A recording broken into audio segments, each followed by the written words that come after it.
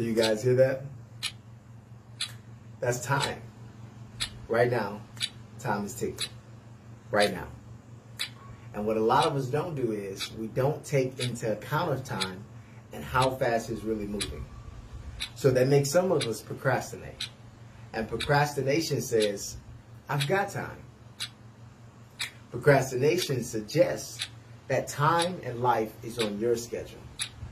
Procrastination is the arrogant assumption that God will give you another chance in the future to do something he called for you to do today. Do not procrastinate. Do it today because tomorrow is not promised.